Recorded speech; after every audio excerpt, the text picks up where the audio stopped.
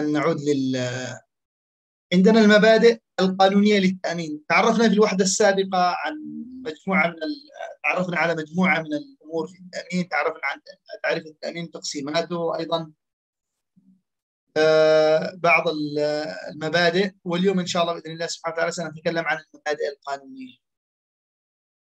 في التأمين مجموعة من المبادئ. سنتطرق لخمسة مبادئ هنا أو ستة مبادئ اليوم. سنبدأ في سلايد ثم نعود إلى الكتاب وسنركز بشكل رئيسي على مجموعة من الأمور من أهمها الحلول والمسائل. آه، أول مبدأ من مبادئ التأمين القانونية مبدأ حسن النية. وبالتالي يفترض أن كل طرف من طرفي العقد كما عرفنا سابقا هناك متعاقدين. يعني مؤمن ومؤمن له والشيء المؤمن عليه. فعندنا مثلا عبد الرحمن مثلا يريد يأمن سيارة. فهو سيذهب إلى شركة التأمين فهو المؤمن شركة التأمين المؤمن المؤمن شركة التأمين والمؤمن لعبد الرحمن والسيارة هي الشيء موضوع التأمين. إذا يفترض بعبد الرحمن أن يدلي بكل الأمور حول إيش الشيء موضوع التأمين. يتكلم عن السيارة موديلها ما حدث سابق تفاصيل. يعطي شركة التأمين كل شيء كل المعلومات عن هذه السيارة حتى يبدو إيش بالتأمين الأصل أيضا في شركة التأمين أن تعطي عبد الرحمن كل شيء عن التأمين عن الاشتراطات عن التغطيات أنواعها التعويضات الاستثناءات التحمل الإجباري حتى يكون على بينة مش يأمن وراكن إنه مؤمن أو مطمئن إنه مؤمن وفي الأخير عند أقرب حاجة يقول إيش؟ هذا ما يغطيش التأمين وذاك تحمل إجباري وذاك مستثنى وهكذا. فبالتالي يفترض في مبدأ حسن النية أنه الجميع يبدي بالمعلومات بكل شفافية وبكل مصداقية وبكل وضوح حتى يكون المؤمن والمؤمن لا على علم واضح بكل التفاصيل. لما ذكرت لكم سابقا وكان عندي نموذج يعني بوليص التأمين. يعني تقريبا في 20 30 ورقة. ما أعتقد إن كل الناس تقراها لكن الأصل في موظف التأمين أن يطلع صاحب الشيء موضوع التأمين أو المؤمن له على كل التفاصيل. وأيضا المؤمن له يطلع شركة التأمين على تفاصيل الشيء المؤمن. المبدأ الثاني مبدأ المصلحة التأمينية. وهذا يفترض أن يكون لصاحب التأمين مصلحة تأمينية. اذا أنت صاحب السيارة أما أنت لك مصلحة تأمينية في هذا الشيء. طبعا اللي يتابع معنا في الكتاب آه، صفحة 92 وعندنا المبادئ التأمينية هذه واحدة كاملة. إحنا نحاول قدر الإمكان إن نختصرها تقراوها وبنتحدث عن ستة مبادئ مبدأ الحلول والمشاركة والتعويض والسبب القريب والمصلحة التأمينية ومبدأ حسن النية وبدأنا بمبدأ إيش؟ حسن النية معكم ف قد يكون هناك إخلال بمبدأ حسن النية من قبل المؤمن إما إخلال إيجابي إما إخلال إيش؟ سلبي. الإخلال السلبي إخفاء الأمر الجوهري بقصد. يعني السيارة هذه بتكون فيها خلل وكذا، طبعا الأصل في شركة التامين إنه يعني يفحصوا كل شيء، لكن من الصعوبة بمكان إنه يفحص كل السيارات، يفحص كل ال... طبعا المصانع والمخازن وكذا بيرسلوا يعني مختص تأمين يفحص هذه الأشياء. لكن ليس بالضرورة إنه يكون إيش؟ على علم واطلاع بكل التفاصيل، لكن الأصل صاحب التأمين أو المؤمن له أن يعطي كل المعلومات ذات الدلالة. أيضا من الإخلال السلبي أن يعطي معلومات مضللة وبيانات مضللة. مثلا قيمة السيارة بيكون مش بالشكل اللي طرحه أيضا وكذا. في إخلال إيجابي عدم إظهار الأمر الجوهري بسبب السهو. يعني نسى ما يوضح. أيضا قد يكون أعطى معلومات خاطئة بحسن نيه يعني الأخ عبد الرحمن في في موضوع السيارة مثلا يقول سياره موديلها كذا بعد ما فحصنا ولا كشفنا عليها وبالتالي امناها عند الحادث يقول السيارة حقي لا مش ذاك اللي موجودة في ال... أنا غلطت وكان عندي مشكلة وما كنت مركز وكذا. وبالتالي هذا إيش؟ إخلال إيجابي. ما تخاف عبد الرحمن شوية ولا نقول واحد آخر. أيضا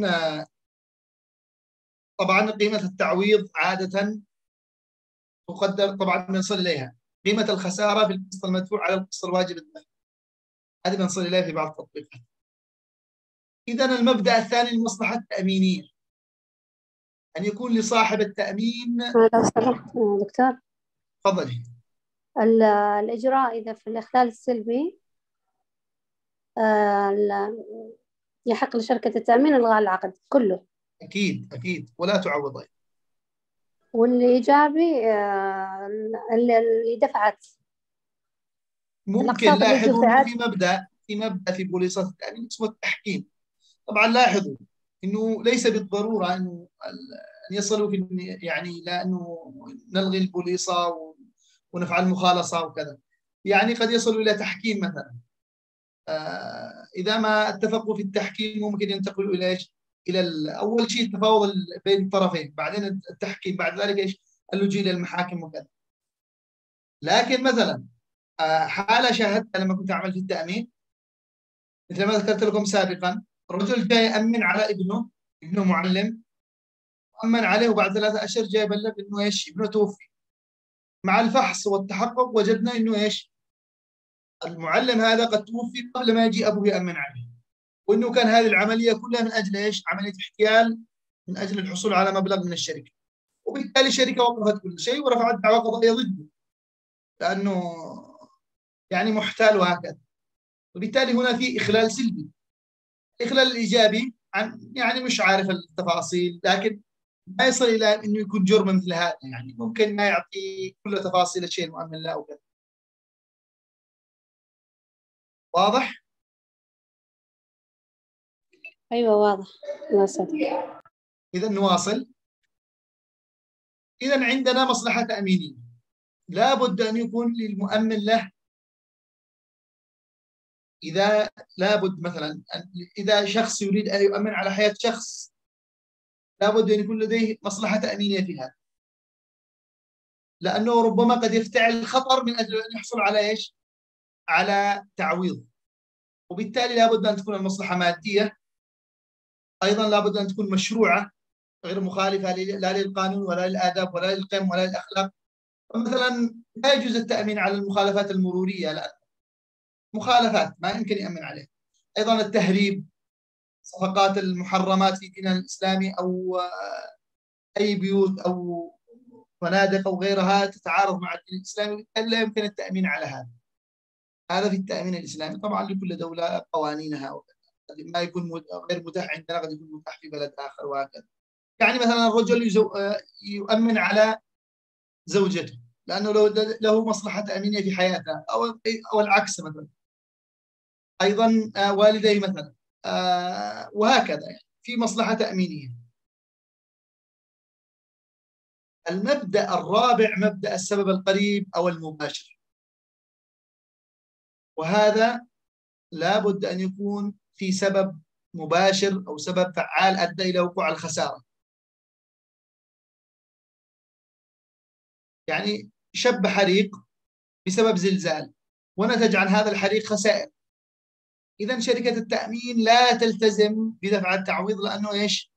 السبب ليس الحريق بذاته إنما السبب كان زلازل فإذا لم تكن الوثيقة مؤطيه الزلازل بالتالي شركة التأمين تقول لك أنت امنت عندنا حريق ولم تأمن زلازل وكان هذا الحريق بسبب إنه الكهرباء وقع على هزة وكذا فسقطت على بيتك واحترق وبالتالي السبب القريب ليس ال... ليس الحريق بذاته إنما إيش؟ الزلازل أو براكين مثلا وهكذا أقرأها طبعا ما بنستطيع إن نقرا كل شيء ونشرح كل شيء لأنه نحن ملزمين بوقت عشان نواصل في الكتاب. أيضا عندنا المبدأ الخامس وهو مبدأ التعويض. هذا المبدأ يقضي بأنه لك الحق مؤمن مؤمن لك بالحصول على تعويض يساوي الخسارة الفعلية أو مبلغ التأمين أيهما أقل؟ ما الفرق بين الخسارة الفعلية ومبلغ التأمين؟ أنت في في في الخسارة الفعلية تكون امنت مثلا سيارة بمليون آه، ريال مثلا. لكن حصل لها حادث ما تضررت إلا بما يساوي 100000 ريال. وبالتالي ما تستطيع تقول لشركه التأمين عوضوني مليون ريال لأن شركة السيارة تضررت لأنه فقط الخسارة الفعلية تساوي 100000 أما إذا كنت أمنت السيارة ب 500000 وقيمتها مليون وحصل لها حادث واحترقت تماما فبالتالي أنت سيدفع لك مبلغ التأمين فقط لأنه أنت أمنت ب 5000 إذا التعويض المدفوع بيساوي الخسارة الفعلية بحد أقصى أو مبلغ التأمين أيهما أقل. تقرأوا هذا وإذا عندكم أسئلة ممكن في نهاية المحاضرة أو المحاضرة القادمة نخصص جزء للأسئلة. اللي عندهم كتاب يفتحوا صفحة 104 آه، في مسألة عندنا هنا. أو نفعل لكم شير آه، ممكن أنا أشير لكم الكتاب. تمام فتحنا الكتاب صفحة 104 أوكي.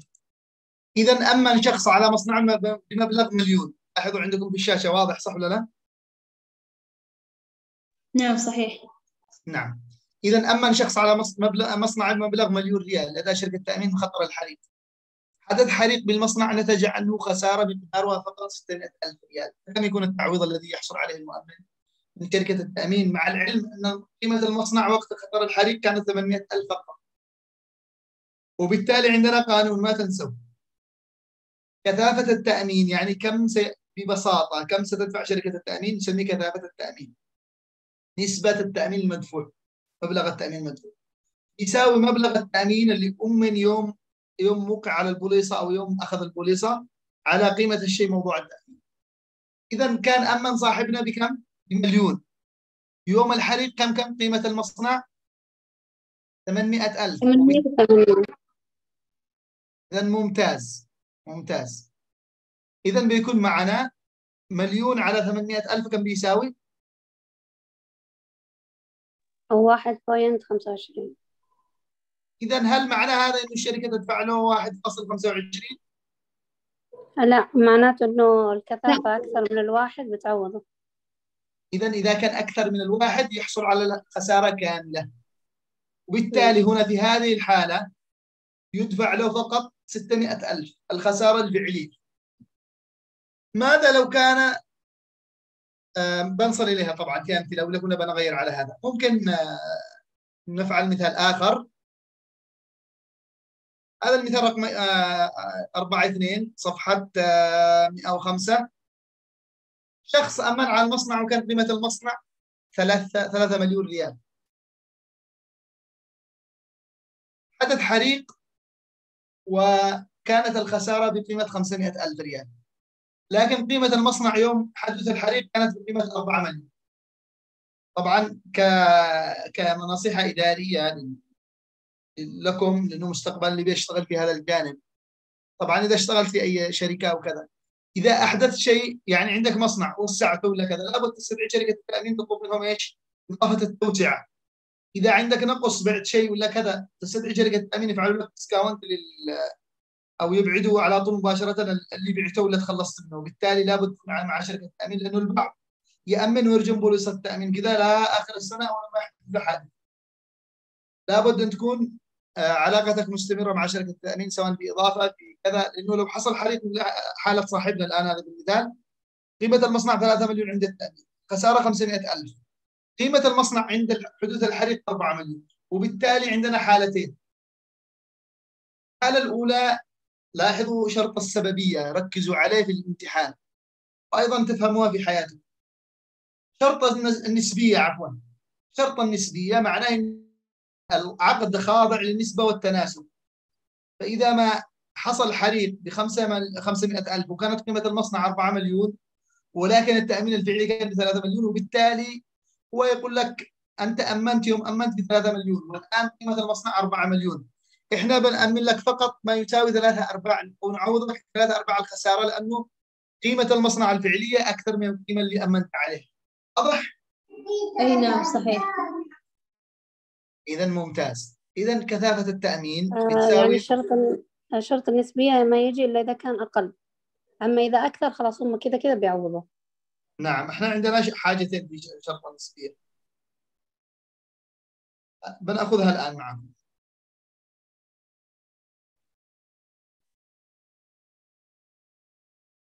لاحظوا مبلغ التأمين كم؟ 3 مليون. قيمة الشيء المصنع يوم الحريق 4 مليون. أول شيء نحسب كثافة التأمين.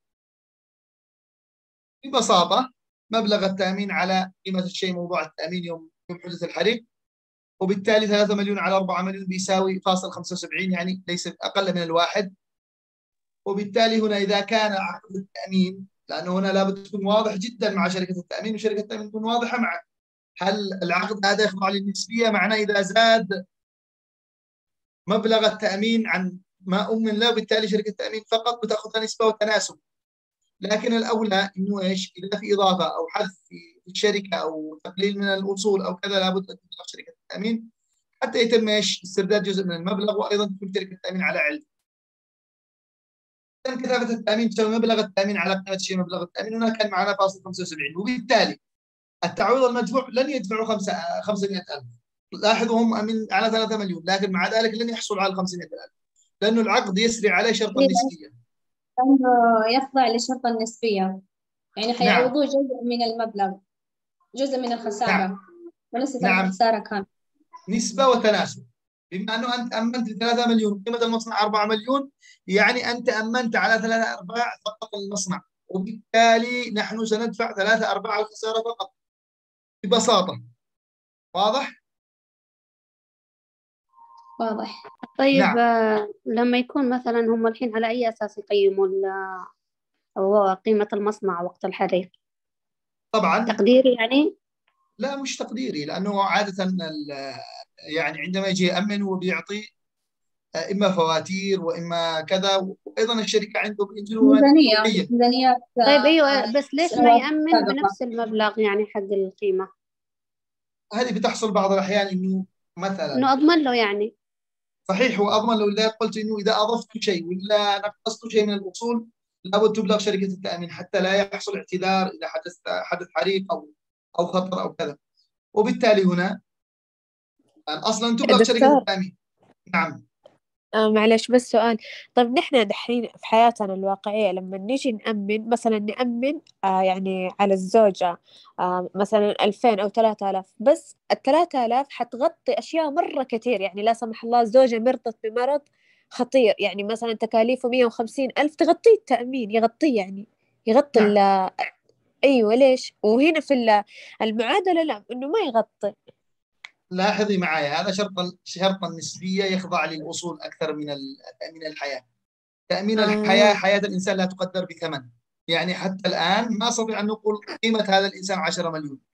قيمة صحيح. الإنسان لا تقدر بثمن وبالتالي التامين التكافلي أو تأمين الحياة أو كذا هذا تماما مختلف. إحنا نتكلم عن الأصول الثابتة كالمصانع والسيارات وكذا. سنصل إلى تأمين الحياة وإن شاء الله هذا له له قوانينه الخاصة. لكن أيضا في المقابل إنه معك معك فئات class مثلا. معك A و B و C و D يعني مثلا انت رحتي تامني ف أيوة. في شركة أنا امنت مثلا ال VIP اللي بعد ال A مثلا دفعت خمسة آلاف يعني هنا سعودي تمام؟ نعم. بس مثلا لو جاء يعني مرض أو حاجة لا سمح الله يعني وصار عندنا يعني في العائله والمرض هذا آه يعني كلفها 150 ألف والشركة غطت كامل المبلغ. لأنه عقد طبيعي جدا. لاحظي عندك الآن مثلا لما تروح أنا اشتغلت في التأمين فترة طويلة في كعملي يعني أيوة. غير لما أشرح لكم نظري الآن. اولا من حيث المبدأ يعني الإنسان وحياة الإنسان لا تقدر بثمن وبالتالي ما تستطيع كل هذا ب 100 مليون وهذا ب 10 مليون. لكن هذا يخضع للشخص نفسه. مثلا قلنا لحياة خلاص بتأمني بكم؟ إيش بتختاري من فئة؟ قلت بختار مثلا VIP ولا بتختاري class A ولا B ولا C ولا D ما الذي يختلف في ال VIP و A و B و C و D؟ تختلف اللي هي التغطيات ومبالغ. يعني مثلا معك إذا حدود مثلا 500 ألف ريال سعودي علاج مثلا. معك رقود. مثلا في المستشفى إلى حدود 100 ألف ولا 150 ألف بال VIP مثلا. تختلف من بلد إلى بلد من شركة إلى شركة. معك في D ما يدفعوا لك إلا مثلا 10 10 ليالي في المستشفى مثلا. ما يدفعوا علاج إلا إلى مبلغ مثلا 100000 وعملية إلى حدود كذا. وبالتالي بناء على ال- ال package اللي اخترته تكون الخدمات المقدمة لك؟ الخدمات اللي مقدمة. أيوة أيوة. يعني أنت دفعتي ال VIP 5000 ومعك تغطيات مثلا إلى 500000 علاج إلى 100000 ركود إلى ما- كذا علاج كذا. الأمراض أيضا نفسها إيش اللي مؤطى مثلا؟ آه، نسأل الله السلامة كل الأمراض مثلا الحوادث وكذا. لكن في دي مثلا دي يقول لك هذه فئة مثلا مؤطى فقط فيها الحوادث والأمراض الكذا وبحدود حد أقصى 50000 مثلا 30000 كذا وقيمتها 2000 واضح؟ أيوه بس أيوة، دكتور معلش اخر سؤال. التأمين بس كيف بيستفيد التأمين إذا هم بيغطوا يعني هذه ال- يعني المبالغ اللي, اللي يعوضوها على اللي يأمن لاحظي عندنا في التأمين نوعين تأمين تقليدي وتأمين إسلامي التامين طيب. التقليدي الشركة بتأخذ هذه الأموال من الناس يعني لو أمنت كم عدد السكان في مدينة الرياض مثلا؟ في الرياض صح ولا لا؟ اللي في جدة. في جدة. كم عدد سكان جدة مثلا؟ يمكن 2 مليون. خلاص لو أمنوا بمليون واحد في جدة كم اللي بيمرضوا؟ صحيح. يعني قليل حيكون. صح صح. نعم. يعني هم الكسبانين. شركة التأمين هي حتكون مستفيدة يعني. لأنه أنا ممكن أأمن بس طول السنة ما أستخدمه. ما أستخدمها صح. وفي أيوة. شخص ثاني يأمن بس يستخدم فوق الفايض بالزيادة مرة يعني. لا سمح الله تعملها يعني لاحظي- عشرين بالمية مستخد... مو مستخدمين ومثلا واحد بالمية مستخدم. لاحظي في التأمين الإسلامي. التأمين الإسلامي أوضح. التأمين الإسلامي قائم على مبدأ التكافل. كأننا مجموعة كلنا مثلا إحنا الآن 17 في الكلاس. إذا مرض واحد أي. مننا بندفع له. كم بنمرض كلنا معقولة؟ إلا إذا زكام بنعدي بعضنا بعض. لكن مستحيل على نمرض كلنا. بيمرض واحد بن... يعني بندفع له من مثلا 10 ريال ولا من 100 ريال. وتعالج وانتهى صح وبالتالي في التأمين الإسلامي نتكلم عن صندوقين في الشركة. الشركة معها رأس مالها في صندوق منفصل وصندوق آخر اللي يسموه صندوق المؤمنين. وبالتالي حياة وأسماء و و و كلهم بيأمنوا في الصندوق ذاك اللي لوحده صندوق المؤمنين. طبعا آه طبعا قليل من يمرض يعني إذا شركة التأمين عندنا مثلا كان مليون عميل مثلا في آخر العام بيطلع معنا اللي مرضوا تقريبا أو حصل لهم حوادث أو كذا لا يتجاوزوا 10000 و 20000 مثلا. في الأخير في آخر العام بيبقى أموال تخيلوا بيبقى أموال في صندوق المؤمنين، وين بتروح هذه الأموال في التأمين الإسلامي؟ بنسميه الفائض التاميني نعيده للمؤمنين أنفسهم. الفائض التاميني. نعم التأمين التقليدي من أول يوم يدخل الشركة حقهم. آه، طيب آه، لما يرجعوه يرجعوه على شكل إيه؟ فائض تأميني مثل البنك لما يوزع أرباح في نهاية العام. إيه يعني مثلا آه، عفوا أنا ما بشوف الاسماء بيشوف إنه خلاص أبرار ولا مثلا عرفات ولا عبد الرحمن يعني طلع لهم من ع- 3% 5% حسابات البنكية موجودة عندنا على طول مباشرة في نهاية العام. إذا جدد عندنا خصمنا له المبلغ ما جددش أعدنا له المبلغ إلى حسابه البنكي ببساطة. يعني. إذا واضح شرط النسبية؟ واضح. إذا نعم. شرط أيوة، واضح. النسبية فقط نسبة وتناسب. أما أنت عندنا مبلغ 500 ألف و... ولكنك ما أفصحت عن كامل المبلغ وبالتالي إحنا بنأخذ نسبة وتناسب. يا دكتور عندي سؤال. تفضل. يعني إذا ما استخدمنا الفلوس حق التأمين آه، ترجع له على ما لا يعني إحنا الآن مثلا 20 واحد مؤمنين في شركة. مرض واحد مننا نسأل الله العافية للجميع. عالجته الشركة ب 1000 وإحنا المؤمنين كلنا ب 2000 مثلا. نهاية العام الشركة بتقول خصمنا 1000 عالجنا فلان. ببساطة طبعا الشركات بيكون عدد كبير. بس أنا أدي لكم مثال 20 واحد. ونفقاتنا التشغيلية شغلنا الشركة خلال هذه الفترة ب 300 بقى 700 بنوزعها عليكم. كل واحد بيأخذ الفائض التأميني هذه الإسلامية. نعم الإسلامي أما التقليدي أو الربوي من اليوم الأول حقهم. يكون يكون هدفها ربح صح؟ نعم هو حقهم. في من اليوم الأول أما أنت عندهم المبلغ حقهم. مرضت ما مرضت الله يشفيك الله يعافيك ما يهمهمش في الآخر. ما قد سمعنا دكتور طيب إيش الإسلامية؟ الفرق بين الإسلامي والكفر والهذا الثاني؟ بنصل إليه بنصل إن شاء الله في المحاضرة القادمة فصل كامل التأمين الإسلامي أشرح لكم بس بالتفصيل. ما ما في في حياتنا كثير الإسلامية ما نسمع عنها. موجود موجود في لو بحثتوا الشركات الإسلامية للتأمين مثلا تجدوا في ماليزيا مثلا شركات يسموها تكافل. في أندونيسيا B, BCI تقريبا أو كذا BCI شريعة. آه، بنك الشريعة هذا. في. نعم. في اليمن في الشركة الإسلامية للتأمين وفي شركات أخرى فاتحة نوافذ إسلامية. يعني شركة تقليدية ربوية لكن فاتحة نوافذ لمن يحب إيش؟ المنتج الإسلامي أو المنتج الحلال كما يسموه في ماليزيا. هنا في طيب ماليزيا يسموه طيب يا تكافل دكتور ليه الناس ما تتجه للإسلامية؟ دام إن العائد يرجع لهم. بعض الناس مش عارفين. طبعا عارف. هو آه هو الإسلامي أصلا ظهر يعني مؤخرا. لنا إحنا إجباري.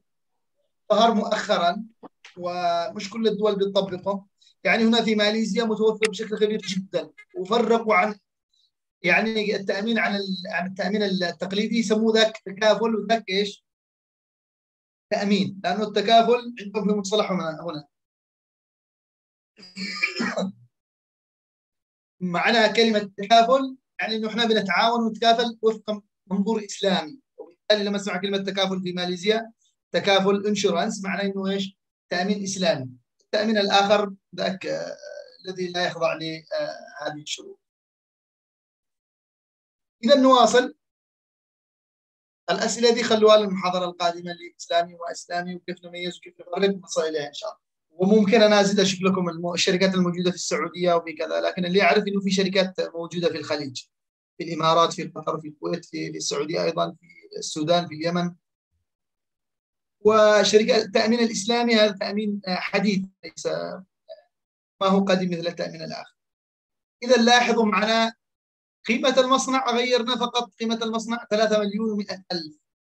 3 مليون و100 ألف ريال فقط. فبالتالي هنا عقد التأمين يخضع لشرط النسبية والمطلوب الثاني لا يخضع لشرط النسبية لاحظوا هنا التعويض المدفوع الخسارة الفعلية في كثافة التامين 3 مليون في فاصل 75 لأنه يخضع لشرط النسبية بالتالي يطلع كم؟ الخسارة الفعلية الخسارة أو المبلغ التأمين أو التعويض المدفوع 2 مليون 250 ألف. ليش مش 3 مليون؟ لأنه قيمة المصنع 4 مليون. وأنت أمنت يا فقط 3 مليون. هنا أعتقد كأنه في خطأ لأنه يقول لك آه، إذا قدرت الخسارة بمبلغ ثلاثة مليون ومية ألف وكاتبها في الخسارة الفعلية ثلاثة مليون فقط. لاحظي هنا الخسارة الفعلية ال- هنا في في المسألة في التعويض ربما صحيح لكن هنا في ال- هو بيعتمد على السؤال اللي قبله. إنه عندنا هنا المصنع امن ب 3 مليون والخسارة كانت 4 مليون لكن هنا في المثال الثاني الخساره 3 مليون 100 ألف. وبالتالي عند الحل طيب. نعوض 3 مليون 100 ألف في فاصل 75 أي نعم. بالضبط. كم بتطلع؟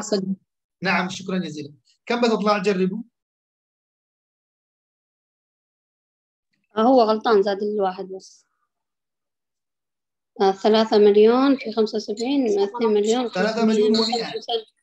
و100 دكتور إيش الغلط في السؤال هذا؟ لاحظوا لاحظوا هنا 3 مليون و100 ألف الخساره فيصير اثنين مليون وثلاثمية وخمسة وعشرين ألف التعويض المدفوع. إذا 2 مليون و325 ألف. لاحظوا إنه مبلغ التأمين 3 مليون والخسارة 3 مليون و100 ألف. طبقوا القانون اللي كثافه التأمين مبلغ التأمين على قيمة الشيء موضوع التأمين. فيطلع نفسه صح ولا لا؟ فاصل 75 أي علشان نعم ما يختلف هو بس نعم، الخسارة هناك الخسارة 500 ألف هنا 3 مليون و100 ألف. نعم. أيوة اذا كمل. هو لابد. نحسب كثافة التأمين قبل الحل لكن هنا لأنه قال المثال السابق فاعتمدوا على المثال السابق. لكن إذا جرك ذا في الامتحان من دون ما يقول لك في المثال السابق ما مقدار التعويض يحصل عليه كذا تبدأ أول شيء تحسب كثافة التأمين. تضربها في الخسارة الفعلية وتطلع إيش المبلغ؟ هنا الخسارة الفعلية الأصل 3 مليون و ألف عدلوا عندكم. لكن الأهم أنكم تفهموا القانون. إذا فهمتوا القانون سهل بتحلوا أي مسألة. مش مشكلة دكتور ممكن؟ ليش ما قلنا الخسارة ترى 3 مليون و100 ليش قلنا 3 مليون فقط؟ هاي ال100 راحت. هو في غلط هنا في غلط في الكتاب. آه خطأ مطبعي عدليه عندك. نعم لا مشكلة. يعني أهم شيء أنكم تفهموا. القانون. تفهموا القانون هذا. لأنه قد لا تأتي هذا. مش معقول إنه بيطلع لك 100% نفس اللي في الكتاب لكن الأهم إنك تفهم كيف تطبق القانون وتفهموا إيش فلسفة المسألة إذا في طيب، هذه الحالة في هذه الحالة ممكن؟ عندما يكون عندنا في حالة لا يخضع لشرط السببية كم بيكون التعويض؟ كانت لا تخضع الخسارة الفعلية كما هي كما هي بحد أقصى 3 مليون مبلغ و100 التأمين. ألف حيكون إذا هي- كانت لا تخضع للشرط النسبية كم 3 كان التأمين؟ و100 لاحظي كم كان التأمين في ال- هنا؟ 3 مليون إذا الخسارة الفعلية كم هي؟ دكتور طيب تحت في غلط تمام لأنه تمام قال- أنا نشيت أوصلكم لهذه النتيجة الخسارة الفعلية أيوة. 3 مليون و100 ألف صح؟ صحيح إذا الخسارة الفعلية بحد أقصى مبلغ التأمين ما بديلك 3 مليون و100 ألف ليش؟ لأن التأمين أقل من الخسارة نعوض أيوة، حد لا أقصى. يخضع ال- أيوة نعم. لا يخضع واضح؟ واضح يا دكتور إذا آه. ممتاز اللي عنده سؤال بالاستفسار بهذا الموضوع دكتور أيوة يا عرفات. السؤال الإنترنت ربما عندك في مشكلة يا عرفات. ألو دكتور إذا عندكم أسئلة تفضل. لو يخضع لل لل آه، عرفات ألو. الإنترنت عندك تقطع دلال تفضل. لما يخضع لشرط النسبية أسوي الكثافة وأطلع وأضربها في الخسارة وتطلع لي ال- الرقم. لكن لما ما يخضع على طول أسوي الخسارة الفعلية. ما أسوي كثافة. لاحظي إن عندما يخضع لك شرط النسبيه فنفعل نسبة وتناسب اللي هو هذا كثافة التأمين نحسبها. اللي مبلغ التأمين على قيمة مو- موضوع التأمين يطلع عليه كثافة التأمين يعني نسبة وتناسب. وبالتالي التعويض المدفوع يكون بناء على النسبة والتناسب إذا كان أكثر من الواحد يستحق إيش؟ الخسارة كاملة. إذا كان أقل من الواحد بحسب إيش؟ النسبة والتناسب يعني هنا مثلا خم- فاصل 75 وبالتالي ما ادينا له شو 500 ألف كامل ادينا له فقط ثلاثة أرباع الخسارة فقط. تمام؟ واضح؟ واضح. طب لو أكثر من الواحد؟ حد أقصى واحد. لو واحد طيب. واحد خلاص. مساوي. يعني مثلا إذا كان مبلغ التأمين 3 أخذ مليون قيمة. الشيء نعم. أما قيمة الشيء موضوع التأمين 3 مليون بالتالي يساوي واحد. إذا هنا ندفع له يعني 500 إذا إذا أعلى من الواحد ندفع المبلغ كامل مبلغ الخسارة. نعم. هذا في شرط النسبية. إذا كان هنا لاحظ إذا كان هنا مبلغ التأمين 4 مليون قيمة شيء موضوع التأمين 4 مليون. 4 مليون على 4 مليون يساوي واحد. إذا كم بدفع له هنا؟ التعويض المدفوع 500000 في واحد يساوي كم؟ 500 ألف. إذا ممتاز جدا. إن شاء الله يكون واضح المسألة. اللي عنده سؤال يتفضل اطرح في التسجيل راجع الجامعة يا مبارك راجع الجامعة. دكتور يا ريت نعطي مثال ثاني بعد فترة أو الحصة الجاية زي ما تحب. عفوا؟ أحس في شوية شوية. مثال ثاني كمان تدريب ثاني. ما فيش مشكلة. طبعا شوية اليوم لكن ما فيش مشكلة إن شاء الله. بس. لاحظوا معنا هنا مثال آخر. أما شخص على مص- مصنعه مبلغ مئة- 10 مليون. من خطر الحريق شب الحريق بالمصنع وقدرة الخسائر ب 700 ألف لكن قيمة المصنع وقت الح- الحريق كم كانت؟ 10 مليون إذا كم كثافة التأمين هنا؟ حتكون واحد 10 واحد. مليون على 10 مليون إذا. كم بيكون التعويض؟ قيمة الخسارة الفعلية الفعلية 400 ألف على طول سواء. خضع لشرط النسبية أو لم يخضع لشرط النسبية أيوه حيطلع على طول آه، نفس الخسارة الفعلية. واضح؟ من اللي طلبتني أن نضيف مثال آخر؟ واضح جدا. إذا شكرا جزيلا. إذا هذا هو النسبية مبدأ النسبية في التأمين وعادة بيجي امتحانات من أسئلة من في الامتحانات. ركزوا عليه معكم مجموعة قوانين التعويض المدفوع. أول كثافة التأمين. القانون حقا اللي هو مبلغ التأمين على قيمة شيء موضوع التأمين. ومعكم هنا التعويض المدفوع يساوي الكثافة الخسارة الفعلية في كثافة التأمين. وعندكم آه، التعويض المدفوع يساوي الخسارة الفعلية بحد أقصى مبلغ التأمين عندما لا تحتوي على شرط النسبية آه هذا بسيط جدا طبعا وسهل ويسير إن شاء الله ما فيش أي إشكال. إذا المبدأ السادس من مبادئ التأمين وهو مبدأ المشاركة في التأمين ماذا لو ما نضلش على عبد الرحمن؟ شوف عبد الملك.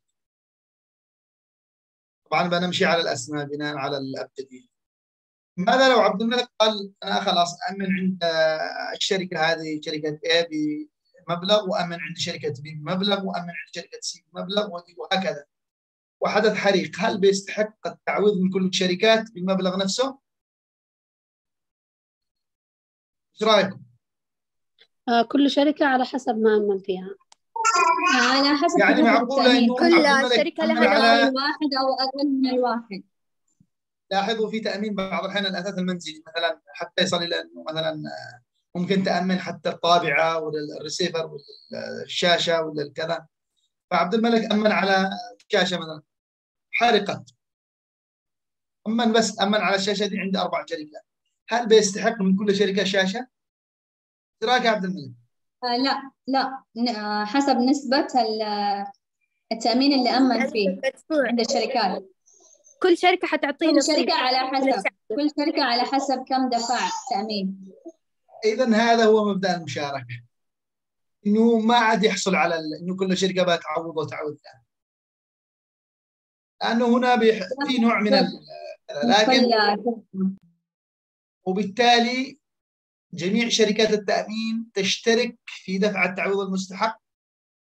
وبالتالي التقسيم بناء على المبالغ اللي أمن عندهم مثلا أمن عند هؤلاء ب 100000 وعند المجموعه ب 70000 و40000 وهكذا. عفوا. اذا المشاركة في التأمين نصيب الشركة في التعويض يساوي مبلغ التأمين لدى الشركة المعنية على مجموع مبالغ التأمين لدى جميع الشركات بالخساره الفعلية. طبعا اقرأوا شروط تطبيق مبدأ المشاركة اللي ما عنده الكتاب؟ يراسلني ارسل له الكتاب طبعا. إنه البعض ما مش عنده الكتاب. كتاب مهم إنه واحد يطلع عليه ويقرأ خاصة لمن يعمل في يعني في الإدارة والمحاسبة والكذا يكون مطلع عنده عنده فكرة عن طبعا بحسب القانون اليمني إذا تم التأمين على شيء أو على مصلحة أو لم- أو مصلحة لدى أكثر من مؤمن بمبالغ تزيد في مجموع على قيمة الشيء أو المصلحة المؤمن عليها. كان كل مؤمن ملزم بدفع جزء يعادل النسبة بين المبلغ المؤمن عليه وقيمة التأمينات المجتمعة دون أن يجاوز مجموع ما يدفع للمؤمن له قيمة ما أصابه من الحريق. هذا نص قانوني يؤكد على مبدأ إيش؟ المشاركة. خلونا نوضح بمثال. إذا قام شخص بالتأمين على الحريق نسأل الله يجنبنا وإياكم الحريق إذا ما بنأخذ شيء. ما دام حريق ما بنأخذ حريق بالتأمين على منزلة من خطر الحريق بمبلغ مليون. لكنه راح على ثلاث شركات. شركة ألف وباء وجيم الأولى أمن ب 500000 عند الثانية أمن قيمة المنزل 300000 عند الثالثة 200000 على التوالي.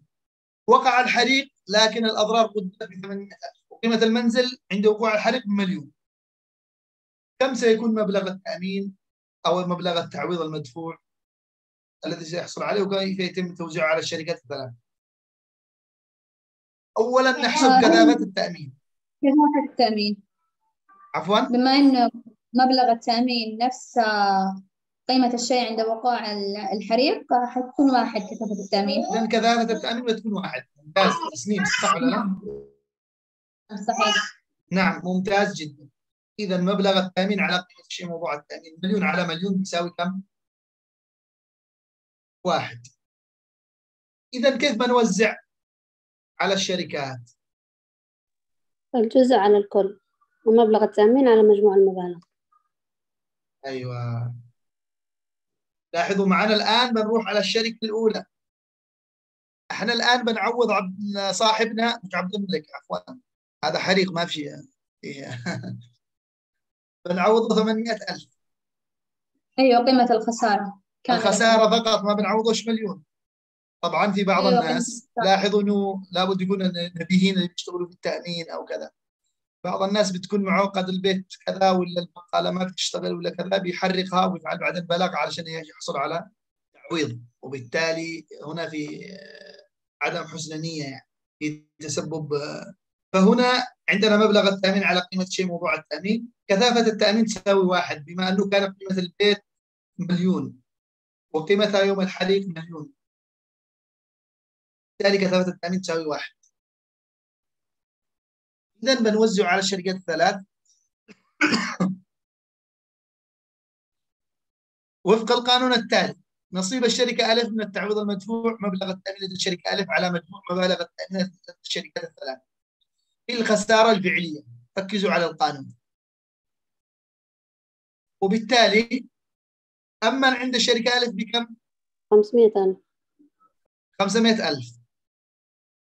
إذا 500 ألف اللي هو مبلغ التأمين لدى الشركة مجموع مبالغ التأمين لدى الشركة. الثلاث بكم أما؟ مليون. مليون كما هو في المثال موجود معكم. هنا في الخسارة الفعلية كم كانت الخسارة الفعلية؟ 800 ألف. 800 ألف. إذا عندي 500 ألف مبلغ التأمين لدى الشركة ألف على مبالغ التأمين لدى الشركة 3 مليون. في الخسارة الفعلية 800 ألف. يلا احسبوها الآن. آه، نصها 400 إذا 500 على مو نصها. 500 ألف طبعا هنا. مش في شيء 50 ألف. ناقص أيوة صفر. أيوة نص ال- نص الخسارة أقصد. إذا 500 ألف على مليون في 800 ألف بيساوي كم؟ 400 لأنه هنا بيكون 500 ألف على مليون بيساوي نص. نص في 800 بيساوي 400 ألف إذا نصيب الشركة بقى 300 ألف لأنه نفس عوض عندهم عمن عندهم ب 300 300 ألف فقط. 300 ألف على مليون. عفوا عندي مبلغ مجموع مبالغ التأمين في 800 ألف اللي هو إيش الخسارة الفعلية وبالتالي 300 ألف على مليون كم بيساوي؟ احسبوا. 240 240 300 ألف على مليون لما نضربها بال 800 لما نضربها في 800 نعم نعم نعم حاملا بيطلع فاصل ثلاثة صح؟ فاصل ثلاثة في 800 ألف بيساوي كم؟ 240 ألف. الشركة جيم. نفس الفكرة مبلغ التأمين لدى الشركة جيم على مجموع مبالغ التأمين لدى الشركة الثلاث الخسارة الفعلية. هو عوض أمن عندهم ب 200 ألف والخسارة ال- مجموع المبالغ التأمين مليون والخسارة الفعلية 800 ألف. وبالتالي 200 على مليون بكم بيساوي؟ فاصل اثنين. فاصل اثنين في 800 ألف بيساوي كم؟ 160 160 ألف ونجمع المبالغ تعطينا 800 إذا إجمالي المبالغ بيساوي 800 مم. ألف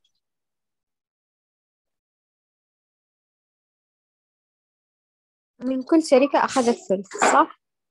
عفوا يعتبر من كل شركة أخذ الثلث لا لاحظ إنه معك لا. الأولى نسبة وتناسب 400000 لأنه أمن عندهم ب 500000 الشركة الثانية 300000 لانهم من عندهم ب آه عفوا 240000 لانهم من عندهم 300000 الشركة الثالثة هي نسبة وتناسب. نسبة وتناسب بحسب كثافة التأمين. كم طلعت لنا كثافة التأمين؟ واحد هنا. لكن التعويض الخسارة الفعليه 800000 وبالتالي ما نستطيع نقول آه، نعوضه لو كان الخسارة مليون بنقول خلاص بحسب ما أمن. 300000 بتروح 300000 و200000 بتروح 200000 وهكذا. واضح أليس كذلك؟ أيوه أيوه واضح. نمر أيوة. على الأسئلة سريعا الموجودة في الشات واللي عنده سؤال يرسل لي. متى تنزل المحاضرة في اليوتيوب؟ شوف شوفوا الجامعة. آه سميرة تقول آه، إحنا يا دكتور متى تنزل المحاضرة؟ آه اسأله الأخ رمزي الأخ رمزي قال أسبوع كم تقريبا تاخذ؟ فشوفوا بلغكم تواصلوا معي.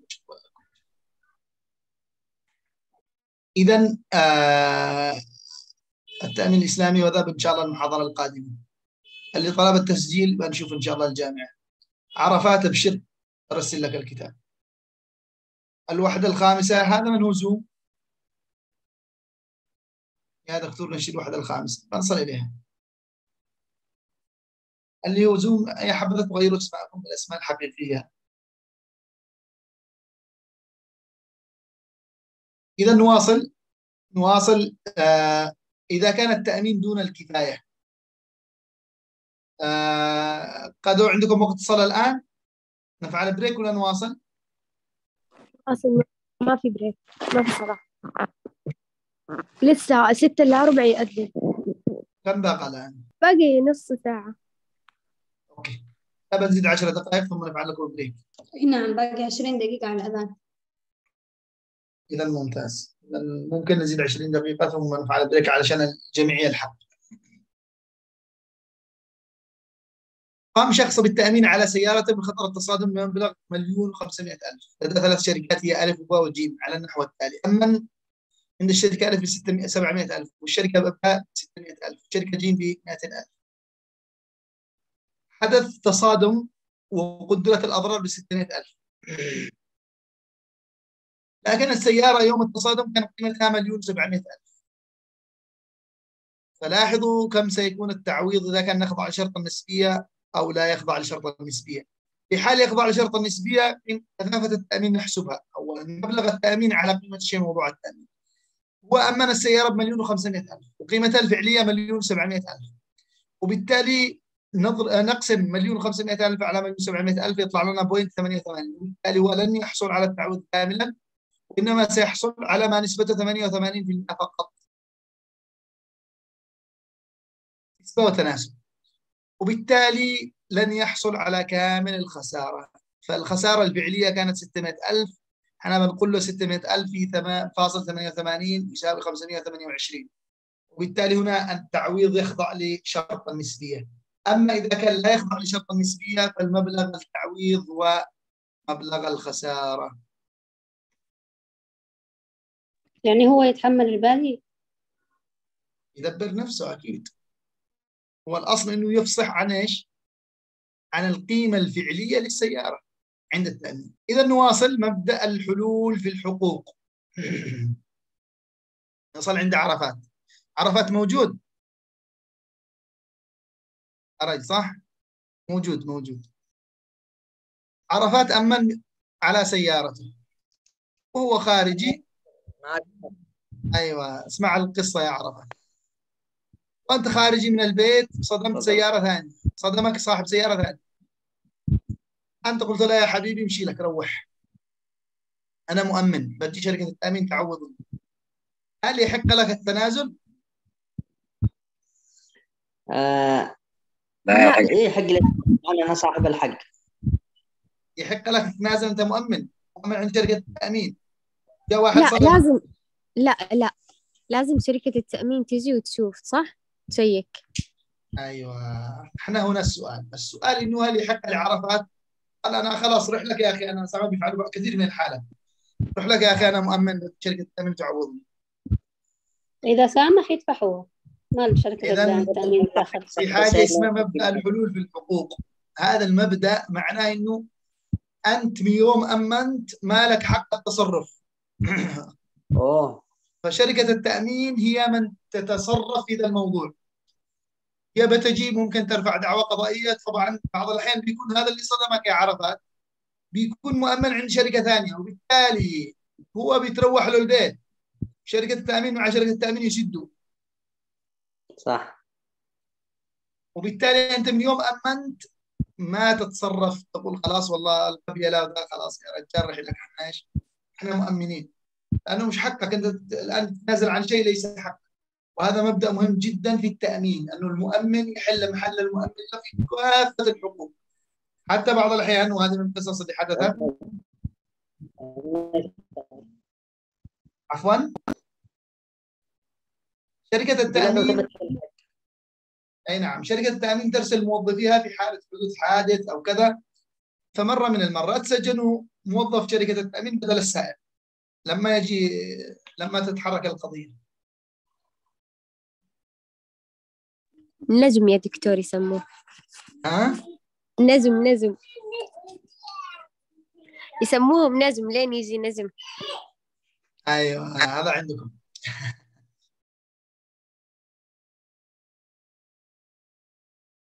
أيوه نعم. نواصل؟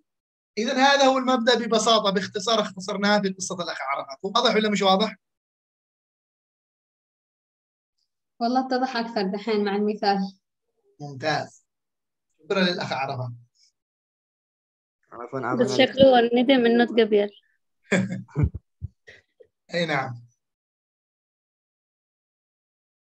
أكيد آه، لاحظوا إنه لابد إنه اللي يسوي لي على تشات رساله لابد إنه عندما تؤمن أكيد انت تبلغ شركة التأمين حصل لك حادث مباشرة أول ما أول شيء اتصل على شركة التأمين ما تتفاهم مع أحد.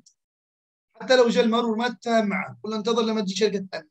طبعا بتدفع تكاليف حتى لو في خسارة لو في محامي لو في لا سمح الله علاج كله بتدفع شركة التأمين. شرط يكون أنت مؤمن شامل مثلا. أما إذا كنت بحسب التأمين. أيوة يا دكتور حتى السيارات ما مستحيل يعدلوها أو يجنبوها يخلوها زي ما صار الحادث. نعم لما يجي التأمين ويجي المرور وكذا إذا نواصل لاحظوا صاحبنا أمن على منزله من خطر السرقه لدى ثلاث شركات ألف وباء وجيم مبلغ 2 مليون.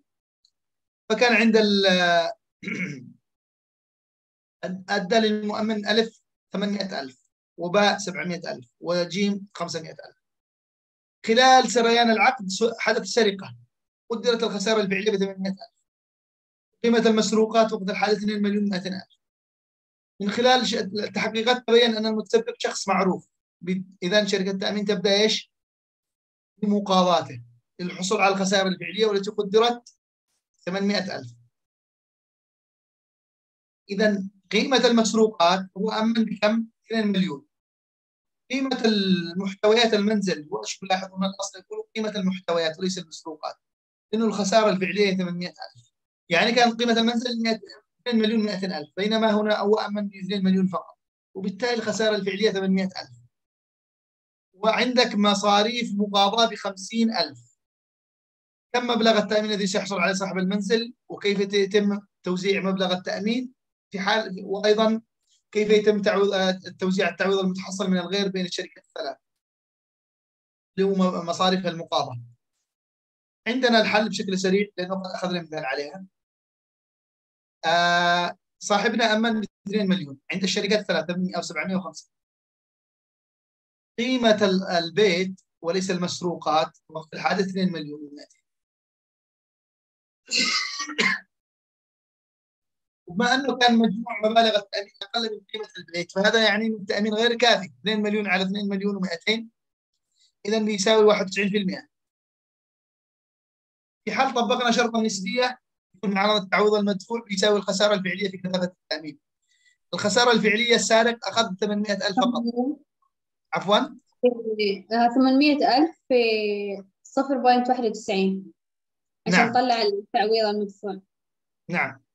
اذا بالتالي هذا هي الخسارة الفعلية 728 طبعا شركه التأمين في هذه الحالة لاحظوا إنه مسكوا السارق وكذا شركة التامين هي بتعوضك وبتفاهم مع السارق وكذا. أنت ما لك علاقة ولا لك شغل. هي من بتقاضيه هي من بتخرج حقوقها وكذا. أنت عارف شركة التأمين. لأنه يحلك محلك في الحقوق. تمام. آه، دحين مين راح يدفع قيمة المقاضاة؟ شركة التأمين ولا المؤمن؟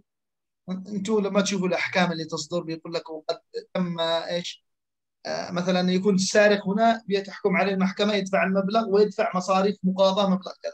مثلا. يعني المؤمن يدفعها. لا لا لا. آه. السارق آه تمام. يعني هو بيدفعوا لأنهم عرفوا من هو بيمسكوا ويقاضوا. بس إذا- المبلغ اللي سرقوه ويدفعوا مبلغ المقاضاه إذا ما عرفوا وش السارق يا دكتور؟ إذا تعوض شركة. لما يجي السارق بعدين. تتحمل مصاريف المقاضاه وتتحمل كل شيء. أيوه إذا السارق غير معروف خلاص تعوضك شركة التأمين بالنسبة اللي تطلع معاك. نعم. إذا يتم تحديد التزام كل شركة مع سبعة لاحظوا إنه شركة التأمين ألف كان التعويض عندهم أو التأمين عندهم بكم؟ ب 800,000. 800000 800000 في 1.91 728 هذا الشركة ألف. اذا 728 في اللي هو الخسائر الفعلية على مبلغ التأمين نحسبها ثم بيطلع لنا 191000 هذا نصيب إيش؟ التزام الشركة التأمين ألف.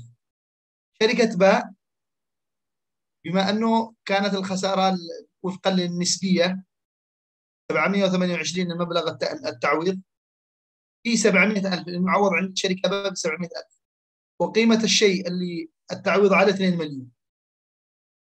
لأن الشركة باء بتدفع فقط 154 800 رغم إنه أمن عندهم كم؟ 700 700000 شركة جيم 728000 في 500000 على 2 مليون 182000 إذا يتم تحصيل المبلغ من الغير بين الشركات الثلاث على النحو التالي. المبلغ المتحصل عليه من الغير 800000 مصاريف المقاضاة 50000 لاحظوا في شرط النسبية هم بيأخذوا من السارق مع عامل إيش؟ السارق شركة التأمين بوفق مبنى النسبية. تمام؟ أيوه خلاص لأنه معروف.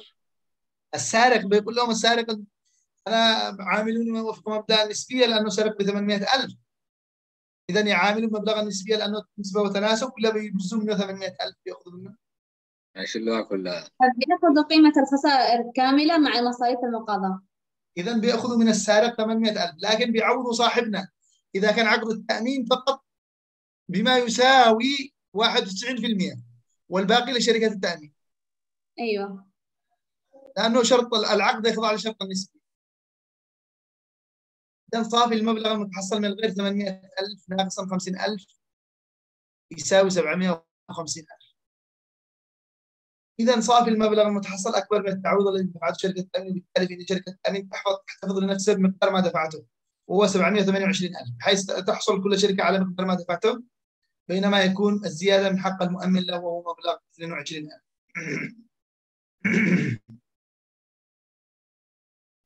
في حال عدم النسبية لكن في حال النسبية شركة التأمين تخضع للنسبة والتناسب. واضح؟ واضح واضح دكتور. ممكن السؤال دكتور؟ عفوا؟ ممكن سؤال؟ آه، لا لا الشرح واضح هذا اللي شرحناه؟ نعم واضح. بس في سؤال. تفضلي في صفحة 110 في المثال آه، رقم أربعة ستة. لما طلعنا النسبة اللي هي زيرو فاصلة ثمانية وثمانين تمام؟ ليش ما ضربناها بالخسارة الفعلية ووزعناها على الشركات الثلاثة في شرط النسبية؟ 110 هنا 111 كده على طول. أنت 111 نسيتي من الحل لاحظي كم معنا لاحظي إنه كان أمن ب 2 مليون أليس كذلك؟ أها عشان أقل صح؟ نعم بينما كانت القيمة ال- ال- ال- البيت طبعا المسروقات السارق ما سرقش ال 2 مليون مئة. دكتور هي تقصد المثال اللي قبله اللي طلع عندنا كثافة التأمين آه، 0.88 صفحة 109 هذا يمكن عندنا صفحة تختلف. خلاص 88 الخسارة الفعلية هو 600 ألف. لاحظوا أنه مبلغ التأمين أمن بمليون و500 بينما كان قيمة الشيء موضوع التأمين مليون و700 أكثر وبالتالي بيكون الكثافة أقل من الواحد وبالتالي هو هنا بيستحق ما قيمته أو ما نسبته فقط 88% لن يستحق كامل المبلغ. واضح؟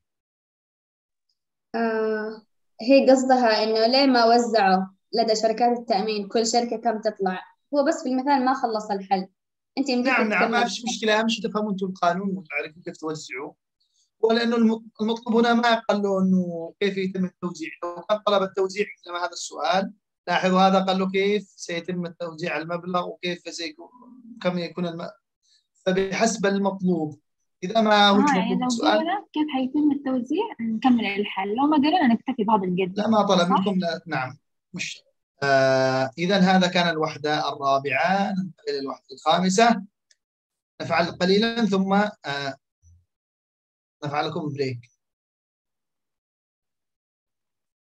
الوحدة الخامسة إعادة التأمين ري انشورنس إيش معنى إعادة التأمين؟ من عنده فكرة إيش معنى إعادة التأمين؟ يعني بعد أن ينتهي اتفاق داخلي بين هيئات التأمين يعني شركة التأمين تأمن على شركة أخرى من يضيف؟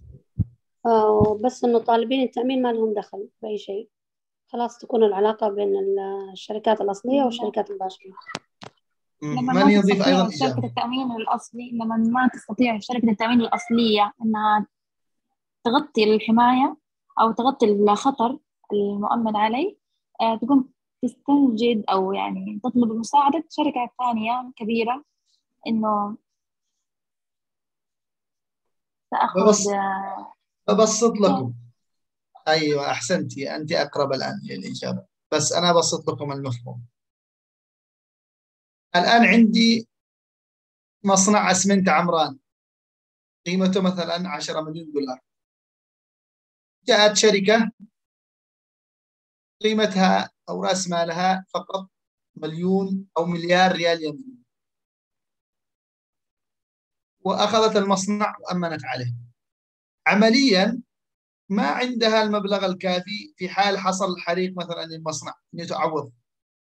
كيف بتصنع في هذه الحالة؟ آه، ما عندها قدرة استيعابية فبتروح لشركة أكبر وتتعاقد. معاهم. أحسنتي. وبالتالي بتدخل لشركة إعادة تأمين وعاده تكون خارجية أو موجودة في السوق المحلي. طبعا المو... في حالتين في إعادة التأمين. إما على على مستوى السوق المحلي مثلا لو كنا نأخذ السعودية. اليمن التأمين مضروب فيها بشكل كبير جدا. شركات التأمين في السعودية مثلا بتتعاون عندهم مثلا أرامكو. أرامكو أمنوها عند شركة من شركات التأمين. شركة التامين هذه السعودية قالت ما أستطيع أتحمل هذا الخطر لوحدي. إيش رأيكم يا شركات؟ تساعدوني وتاخذوا جزء من إيش؟ من المبلغ. فيتم توزيع. إذا كان مثلا قيمه الشركة 2 تريليون كذا دولار كل شركة بتأخذ 10 من 10 أو 100 مليون دولار مثلا يتم تقاسم المبلغ بينهم. والشركة اللي جابت هذا تأخذ عمولة تأخذ حصة وتأخذ عمولة. في حالة يكون التأمين عالمي أو إعادة تأمين على مستوى العالم مثلا في شركات في أوروبا في ألمانيا أو في اليابان مثلا أو في أمريكا نعطيهم الخطر. يعني أنا مثلا عندي آه، مصنع في اليمن. حصلت على عادة تكون مناقصات مثل المقاولات مناقصة لتأمين هذه الشركة.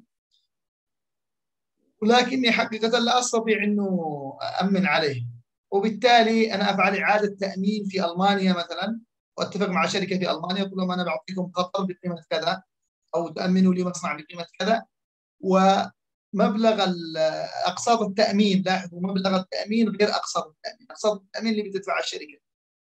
أقساط التأمين مثلا طلعت إذا كان قيمة المصنع 100 مليون دولار طلعت عندي مثلا مليون دولار أقساط أنا بعطيكم 80 مليون ولي 20 مليون عمولة. في حال حصل خطر خلاص شركة التأمين ما تطالب الشركة المؤمنة أو شركة إعادة التأمين بالتعويض. وبالتالي أصبحت هذه مثل الوسيط بينهم. في الحالة الثانية لا تم تقاسم الخطر. أخذت 50% أنا أخذت 50% ولا ثلاث أربع شركات كل شركة أخذت 10 10 في حالة حصل خطر بيتعاونوا جميعا ويتم دفع إيش؟ المبلغ. إذا آه، نتوقف هنا. إعادة التأمين صفحة 126 إذا نواصل في موضوع إعادة التأمين. فالمؤمن له بيأمن عند شركة تأمين مباشر. شركة مثلا نأخذ مثال واحد منكم. مثلا علاء ولا أي طالب منكم عنده سيارة أمنها عند شركة من الشركات. الشركة أمنت إعادة تأمين الشركة عند معيد تأمين عند شركة أخرى لري إنشورنس. عند تعرض المؤمن المباشر لخطر عند تعرض المؤمن له لخطر يتعامل مع المؤمن المباشر. وهو من يتعامل مع معيد التأمين. ومش معقولة أنه أنا أمن سيارتي عند شركة وعندما يحصل لها حادث مثلا يقول لي روح طالب معيد التأمين. أنا تعاملت معك ما تعاملت مع معيد التأمين. وبالتالي أنت يجب أن تتعامل مع معيد التأمين وتوفر التعويض إذا إعادة التأمين هو ترتيب تتمكن موجود شركة التأمين من الدخول بعقد مع معيد التأمين بغرض تعويض شركة التأمين عن كامل أو بعض الأخطار التي تكتسبها الشركة بشكل مباشر. كما ذكرت لكم شركة في السوق اليمني ولا في السوق السعودي تأخذ مجموعة من الأخطار أو تؤمن مجموعة من الأصول ثم تعيد تأمين عند شركة في ألمانيا وهكذا.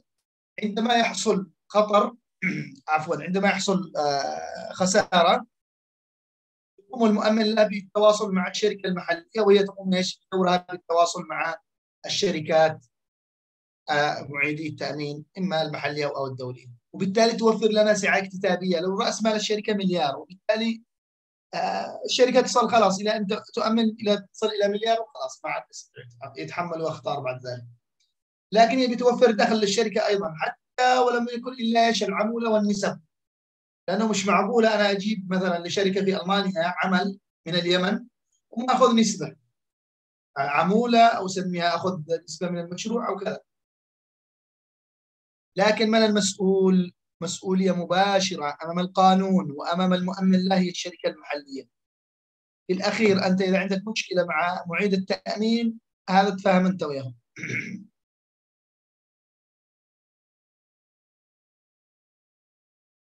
لماذا تعتمد شركات التأمين على عدة التأمين؟ اولا المحافظة على استقرار نتائج الاكتتاب من خلال تحقيق ضبط التأثير السلبي لتقلب المطالبات. حماية رأس المال. تفضلي.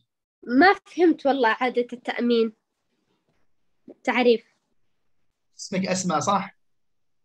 أيوة أسماء عندك سيارة رحتي أمنتيها في شركة في السعودية. الشركة دي في السعودية رأس مالها مليون ريال سعودي لنقل مثلا. لكنه قد أمنت 10000 سيارة وبالتالي خلاص رأس مالها مقابل ما اسمه ال- السيارة التي أمنت عليها. هي تريد تشتغل أيضا. فبالتالي قبلت أن تؤمن لك السيارة فتبدأ تبحث عن شركة أخرى تؤمن السيارة. أنت ما لك علاقة خلاص انتهى دورك. أما أنت عند عند الشركة دي ورجعتي البيت شركة التأمين تقوم بمراسلة شركات اعاده التأمين إما المحلية وإما الدولية. قل لهم والله عندي كذا وكذا إيش تامنهم اما سيارات اما كذا. قل أوكي. قل والله إحنا أخذنا من المؤمن له أخذنا من أسماء مثلا قسط التامين 1000 ريال سعودي. وبالتالي بنعطيكم 800 وتأمنوا لها السيارة. ونحن لنا 200 مقابل عمولة ومتابعة وفي حال حصل لها شيء نحن من سنذهب ونحن من وهكذا مقابل الخدمات والتشغيل. شركه عد تامين تقول أوكي وبالتالي خلاص. واضح يا أسماء؟ أيوة واضح. اذا ممتاز جدا. نواصل. اذا حماية رأس المال والفائض المالي، زيادة الطاقة الاستيعابية، المساعدة في تحقيق متطلبات الملاءة المالية، أيضا التقليل من حدة تركز الاخطار لأنه تخيلوا لما يكون أنا موزع الاخطار يعني موزع عامل إعادة تأمين لعدد كبير جدا من الاخطار وبالتالي لما يجي لي آه، خطر يعني أنا لما أتكلم عن كلمة خطر في التأمين معناه لما يجي حاجة خسارة كذا أكون قد وزعت هذا ال- الخطر على مجموعة من الشركات لن تتأثر شركة. يعني مثلا في اليمن قبل فترة حريقه محل كبير جدا اسمه المدينة التركية للاثاث طبعا تقريبا يفوق مليار ريال يمني. وربما مؤمن عند شركة يمنية رأس مالها ربما مليار أو أقل. وبالتالي ماذا لو كانت شركة التأمين اليمنية هذه غير معدة التأمين عند شركة أخرى في الخارج؟ معناه خلاص تدفع له المبلغ واليوم الثاني تروح لأنه ما لكن هي تكون قد أعادت تأمين هذه المدينة كلها وهذا المعرض الكبير جدا عند شركات أخرى. بالتالي بتكون نسبتها أو حصتها 5% ولا 10% والباقي إيش؟ على شركات أخرى والشركات هذه بتكون عملاقة عاد. يا دكتور عندي سؤال. تفضل.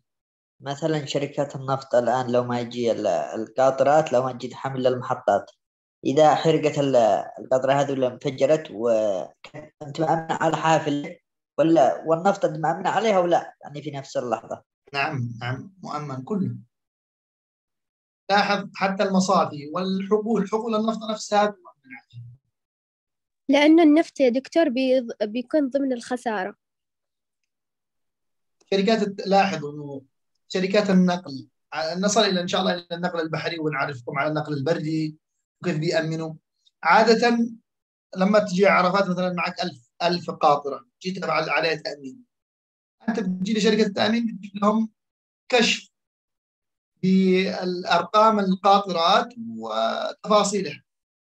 وهم يعطوك وثيقة. مجرد ما تبلغ عادة العملاء الكبار راح يتعاملوا معهم تعامل آخر غير لما أنت صاحب سيارة يعني. أنت مؤمن سيارة بالتالي شركة التأمين بيبحثوا عليك شوية. لكن لما يكون عميل كبير شركة عملاقة وبالتالي الخسائر بتكون بسيطة ويتعاملوا معها حتى ولو لم تكن ضمن المؤمن لها يتساهلوا معهم لأنه يقول لك ده عميل كبير لابد نكسبه فكل شيء مؤمن خاطر ما تكون مؤمنة ضمن السيارات والنفط ضمن مثلا آه، الأصول والكذا. وبالتالي مثلا محطات النفط كلها مؤمنة. مش عارف في اليمن لكن هنا مثلا في ماليزيا كلها مؤمنة. شركة تأمين واحدة مثلا بتروناس مثلا تؤمن عند شركة تأمين شل تؤمن عند شركة تأمين وهكذا. وبالتالي هم بيفعلوا كل الأخطار المتوقعة. تسرب النفط أيضا الأثر البيئي المسؤولية المدنية لو حصل آه، مثلا انفجرت القاطرة وكذا أو خزان المازوت مثلا واحترقت سيارات وبشر وبالتالي كل هذا يتم التأمين عليه بوثائق شاملة.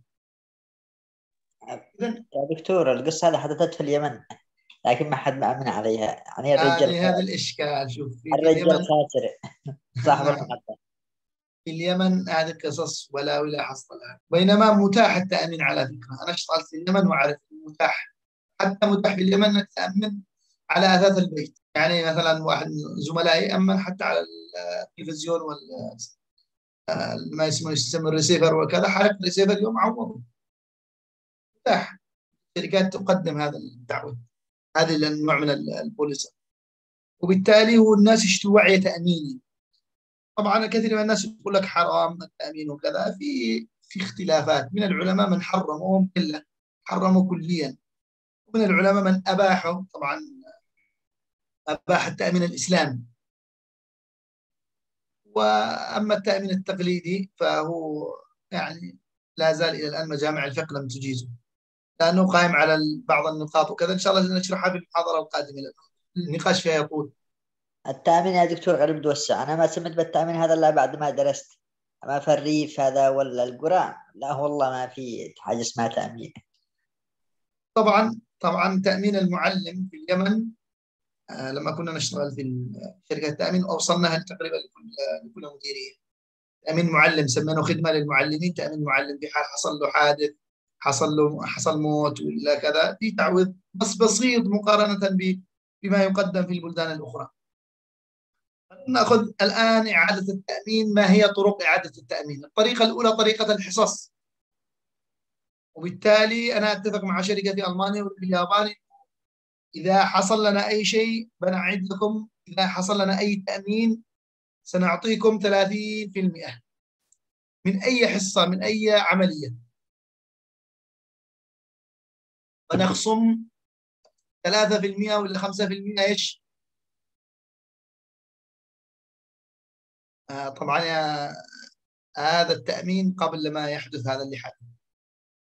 أنا أتكلم عن اليمن قبل فترة 2014 وبالتالي شركة التأمين تقوم بعقد اتفاقيات مع شركة إعادة التأمين. تؤمن لها مثلا أنا أتفق مع شركة في اليابان. أعيد أعيد لكم تأمين 30% يعني أنا لو حصلت مصنع بقيمة مليون أرسل لكم 30% من هذا المصنع. يعني قيمته 300000 ولكن سأخصم 5% ولا 10% ولا 20% عمولة ومقابل أتعاب. لاحظوا معي هنا في المثال الظاهر أمامكم. إنه الاتفاق نقوم بإعادة 30% من أي عملية. بعد خصم 3% من القسط كعمولة لها. فإذا قبلت عملية فإذا قبلت عملية لتامين خطر الحريق على مصنع بمبلغ تأمين مليون. كان قسط التأمين يقدر بفاصل ستة بالألف. لاحظوا أنه سابقا شرحنا لكم كيف نحسب إيش؟ الأسعار. طبعا أسعار التأمين بتأخذ بعضها بالألف. بعض الأحيان تأخذ بالمئة لما تكون الأخطار عالية جدا. وبالتالي عندي هنا قبلت عملية للتأمين خطر الحريق على مبلغ بمبلغ تأمين مليون. كان القسط ستة بالألف والوثيقة تخضع لشرط النسبية والخسائر كانت ب 600000 وقدرت قيمة المصنع وقت الحريق بمليون و ألف. طبعا هذا مركب الآن. تشتيك تحسب كثافة التأمين وإذا كان يخضع لشرط النسبية أو لا غير النسبية وكذا. لكن هنا بيقول لك حدد التزامات هيئة إعادة التأمين من التعويضات والأقساط. في البداية نبحث عن كيف نطلع قسط التأمين اللي هو السعر اللي قلنا 6 بالألف في مبلغ التأمين. 6 بالألف ومبلغ التأمين كان كان مليون. 6 بالألف في مليون بيطلع لنا 6000 6000 إذا كثافة التأمين مثل ما شرحناها في الفصل السابق مبلغ التأمين على قيمة المصنع وقت التأمين وقت حدوث الحريق. مليون على مليون و200 إذا يساوي أصل 83 أقل من الواحد. بالتالي لو تعويض المدفوع 600 ألف في فاصل 83 بيساوي 498 هذا بناء على كثافة التأمين. إذا التزامات هيئة إعادة التأمين والتعويض المدفوع 30% في 498 شركة إعادة التأمين ستدفع فقط 149400 ما نسبته 30% من المبلغ التعويض من مبلغ التعويض المدفوع. من الأقساط كم بتأخذ؟ من ال 6000 2% و و3% من العمولة برضه. أي إحنا اتفقنا إنه نعطيهم 30% ونخصم 3% حصتنا الحين ما جاب له قسط التأمين مبلغه كامل. جاب له ستة نسبة من مبلغ التأمين. عشان كذا ضربناه في مبلغ التأمين صح؟ نعم. لاحظي لأنه اداله 30% من الأقساط وبيدفع 30% من التعويضات. يعني متفق عليه لكن عندما أدفع له أنا أقساط أخصم عمولة. وعندما هو يدفع تعويضات ما يخصمش عمولة لا هو بيدفع تعويض ل 30% واضح؟ أيوة الالتزام اللي علي غير حصة هيئة التأمين إعادة التأمين. نعم اذا كان عليه إنه ندفع له 30% من قسط التأمين اللي هو 6000 ندفع له 30% من 6000 وننقص عمولة ل 3% اذا 30% في 6000 كم بيساوي؟ ب 1800 1800 ناقصا 180 للعمولة اللي هو 3% في 6000 اذا أنا بدفع له 1620 أقساط. واضح؟ واضح. اللي عنده سؤال أو كذا قبل ما ننتقل إلى طريقة الفائض هذه الأولى طريقة الحصص. إنه اوزع بيني وبينهم. مثلا شركة أمن اعطيهم 30% شركة أخرى 20% شركة ثالثة 10% وهكذا. هذه طريقة الفائض واللي بيحصل فيها الكثير من الطلاب وقت الامتحان. طريقة سهلة وبسيطة. طريقة الفائض عندي شركة احتفاظها من خطر معين بمبلغ 100000 يعني وإذا أمنت مثلا لنقل شركة من الشركات فقط حدها تحتفظ إلى 100000 إذا جاء لها خطر أكثر من 100000 تبدا بتوزيعه. هذه قصة الفائض. تبدأ تتواصل مع شركات يكون معي اتفاقية مع شركة ميونخ في ألمانيا شركة كذا في لندن كذا شركات في نيويورك. خلاص أنا قد معي بينه وأنا يوم عقد إنه في حالة وصل مبلغ التامين عندي 100000 أنا أحتفظ بعد فوق 100000 مع شركة ميونخ في ألمانيا مثلا إلى 200000 ما زاد على 200000 بوزعه في شركة لندن للتأمين مثلا. ما زاد على 300000 بوزعه على شركة كذا وهكذا. اتفاقيات مسبقة. فعندي الآن شركتي فقط أستطيع الاحتفاظ إلى 100000 ومعي اتفاقيتين. اتفاقية فائض أولى مع شركة في ألمانيا مثلا شركة واتفاقيه فائض ثاني مع شركة في لندن. معي مع الأولى 10 خطوط ومع الثانية خمسة خطوط. كيف اعرف قيمة الخطوط؟ من يقول لي هذه اللي بيقع فيها كثير من الطلاب أيام وقت التصحيح والامتحانات والتكاليف قصدك الحد الذي يقدر على تحمله ال- الاتفاقية الأولى والاتفاقية الثانية كم الحد اللي يقدر يتحمله؟ أيوة دكتور. اشرح الخطوط. الخطوط الأولى والثانية لاحظي إنه الخطوط كل خط يقاس بإيش؟ بالمبلغ اللي أستطيع تحمله، المب- قيمة الخط هنا 100000 لأنه أنا استطيع أحتفظ ب 100000 مم. واضح؟ الفائض الأول آه مليون أقصى قيمة أول صح؟ ما فهمت معنى كلمة خطوط بنصل اليه. لما يجي لك كلمة خط في الامتحان معناه مقدار ما تستطيع أن تحتفظ به. أيوة هيئة ال- الف... هيئة الاتفاق الأولى هيئة التأمين. اللي انت انت قبل أن تصل يعني مثلا شركتي تحتفظ ب 100000 اذا قيمة الخطوط قيمة كل خط 100000 وبالتالي بحسب الاتفاقيات اللي بيعملها بقول أنت 10 خطوط معنا مليون. أنت خمسة خطوط 500 500 واضح لهنا صح ولا لا؟ واضح إيه، واضح. ممتاز جدا. جاءت لي هذه العمليات في اليوم الأول جاء واحد أمن ب 80000 اليوم الثاني واحد جاء أمن ب 100000 في اليوم الثالث واحد أمن ب 120000 في اليوم الرابع واحد أمن بمليون. في اليوم الخامس أمن بمليون 200000 اليوم السادس واحد جاء أمن بمليون و610000 نأخذ كل حالة على حدة. نبدأ بالأولى الثمانين الألف هل أستطيع أحتفظ بها ولا أوزعها؟ آه نحتفظ فيها لأنها أقل من أقل من مليون من ال- أقل. مقرر شركة التأمين الاحتفاظ بها.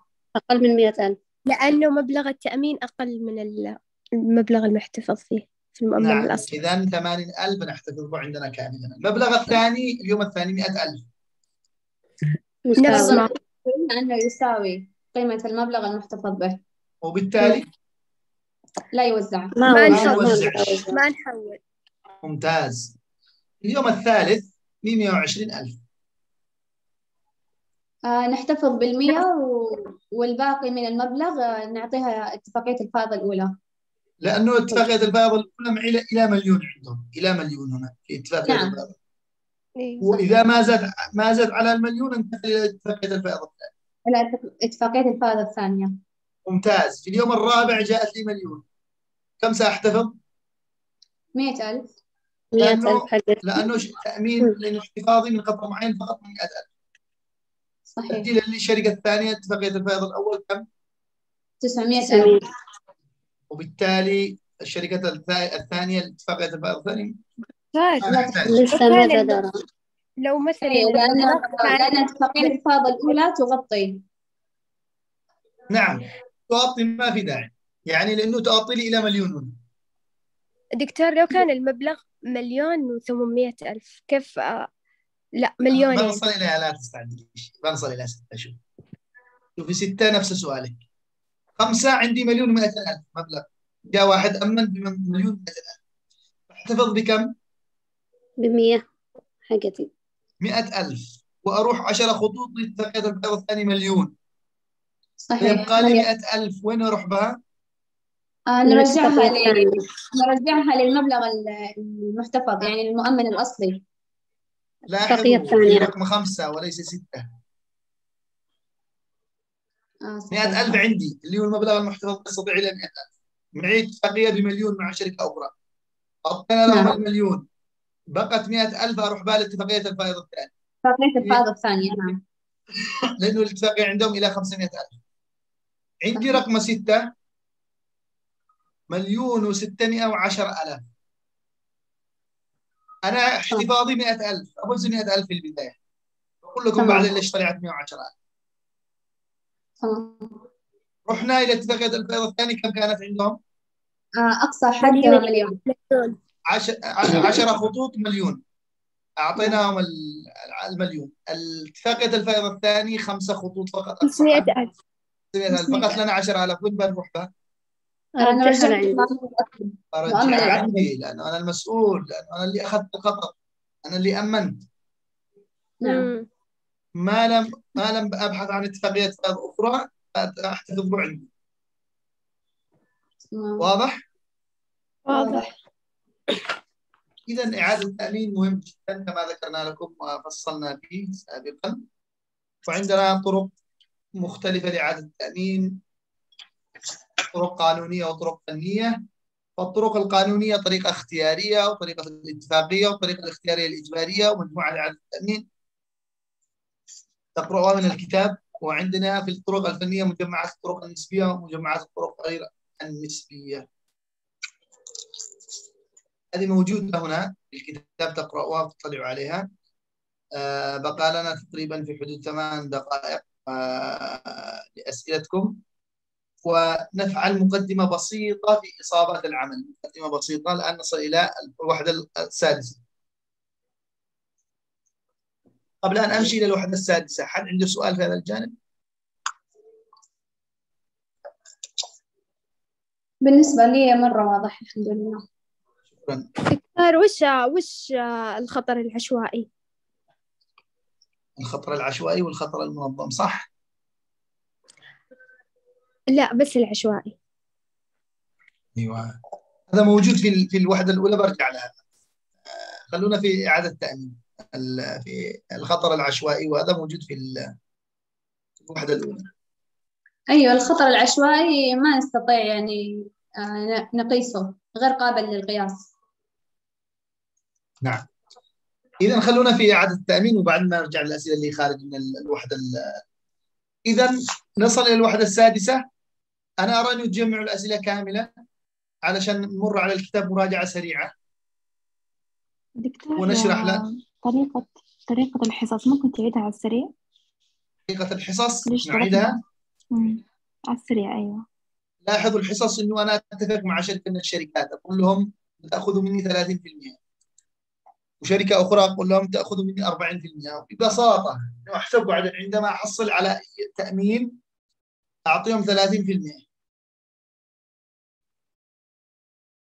وعندما أطالبهم بأي تعويض يدفعوا 30% هذا بس ببساطة يعني. اتفاقيه مسبقة؟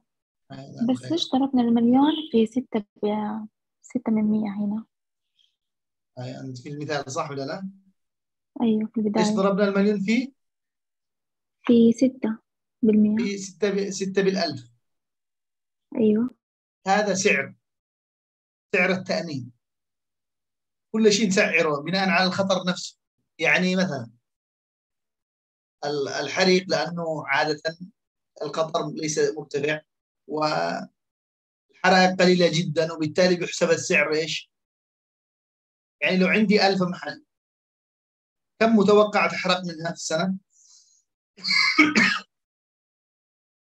ستة مثلا إذا أنا أسعر بناء على هذا أقول تقريبا ستة بالألف قيمة التأمين لأنه من كل ألف تقريبا بيحرقوا ستة واضح كيف التسعير؟ أيوة أيوة فهمت. هذا بتجي لك معطى بتجي لك معطى في ال- في ال- أيوة. الخطر العشوائي اللي سألت عليه خطر غير منظم. يعني آه، عادة عندنا مجموعة أخطار مصنفة في البداية في بداية الكتاب تقرأوها وتطلعوا عليها. وفرقوا بينها لأنه بعضها دقيقة جدا في التفريق بين المخاطر. لو في أسئلة عليها بتكون أنا ما دققت فيها كثيرا وما شرحتها كثيرا لأنه هي بسيطة ممكن تطلعوا عليها وتقرأوها.